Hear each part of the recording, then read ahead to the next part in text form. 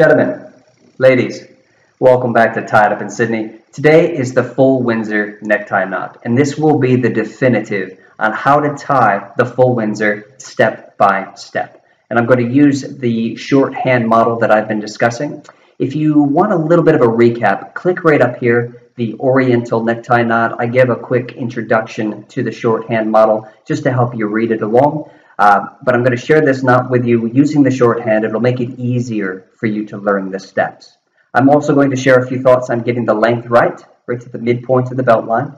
And I'm also going to talk a little bit about the size of your full Windsor necktie knot. I'll take it down and I'll show you how to tie it. All right, let's get this knot set up. The first step in the sequence for the full Windsor is left into the diagram. So that tells me the seam side has to be facing in. And with these classic knots, uh, the blade is going to be always be on your right hand side, so that's the wide side of the tie, and the tail will be on your left. Okay. To get the length right for you, it does depend on the width of your neck, the length of your torso, and the length of your tie. So it's going to be different for everybody. You do have to trial and error a little bit to get your length right. Uh, for me, for the full Windsor, if I want the blade of the tie to rest right at the midpoint of my belt line, I know that this tail has to start just beyond my solar plexus. All right, step one in the Windsor is left into the diagram, and my hands change. Step two is center out. So that'll always going to be with your blade here. So center out of the diagram. And on this one, my hands don't change. Center in and center out, your hands won't change. Okay? All right, now right into the diagram. Then our hands change. Step four is left out of the diagram. And our hands change. And then center in. Again, the blade is going to feed through the center, coming off the back, and our hands don't change. Now right out of the diagram. Left in to the diagram. And again, center out. And it's at this point that we would be going through the loop that we just created. But I like to check and make sure that I've got my length right first before I put too much effort into shaping and forming up my knot. So if I, again, if I just pinch this, uh, the creation of the knot as well as the tail, and I just cinch that up at this point, now I can see that the blade of the tie is going to fall right to my belt line, and I've got my length right.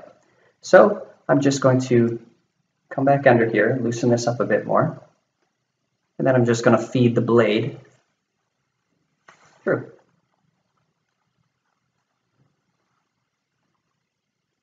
Now, from here, you can do any number of things with a with a full Windsor. You can just tighten it up and, and leave it without a dimple, or you can create a dimple if you like. Um, I'll just make a dimple. I'll, i like to just uh, pinch that fabric together up underneath this loop. And then what I do is I, I just reach behind and I want to grab that fabric that's making up the blade of the tie. I'm just going to start to pull up from the back and that'll tighten the knot. Once I've done that, just give it a quick little shape. And again, I've got my length correct. I can bring my collar down and I'm ready to start my day with a full Windsor. So there's an interesting thing about the full Windsor knot, and that's the size. Everybody thinks of the full Windsor as this very large, bold, expressive knot, and it really can be, and you can make it stand out more or less depending on um, how you organize the length of your tie. Let me, let me show you what I mean. Unless you're tying a super skinny tie, uh, most ties become gradually thinner the further up you go. So where I begin this knot is really going to start to impact on how wide the fabric is at the point where it's making my knot. So before, when I tied it and I wanted to get the length perfect right to the midpoint of my belt line, I knew that I had to be just beyond my solar plexus. But if I were to just pull this down a bit more and maybe just above my navel, and I tie the full Windsor again, so left in, center out,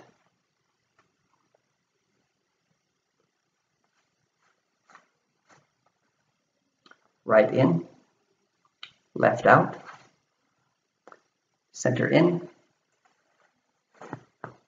right out, left in, center out.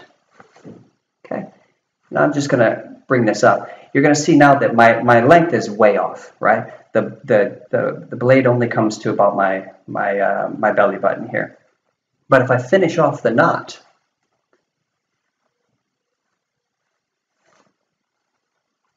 okay, I'm just going to tighten this up a bit. I'm not going to bother with a dimple because I just want to make a quick point for you. I'll just tighten it up, cinch it up, bring the collar down. So yes, my length is off, okay? Length is definitely off. But the knot is much bigger now. It's bolder, it's more expressive. So now I'm just going to throw on a vest. So if you don't have a three-piece suit in your repertoire, uh, definitely recommend one, or at least having a vest that you can interchange with different suits. Because what that does is it allows you to tie a larger, bolder, more expressive knot and not have to worry about having the length of your tie right. So here, the length is wrong. It's at my, it's at my belly button instead of my belt line. But I throw on a vest, doesn't matter. And now that, that Windsor is super bold, very expressive, very large, and it's a beautiful knot. All right, everybody. Well, thanks again for watching Tied Up in Sydney. I do hope that you got some value from this video on the full Windsor. Uh, again, learning the shorthand steps so that you always know that you're tying it right, getting the length right, how to get the knot to be a bit bigger, using a vest to, to, to show off a, a more bold, expressive pattern. Give me a thumbs up if you enjoyed the content, guys. I'd love to see your comments down below, and please subscribe.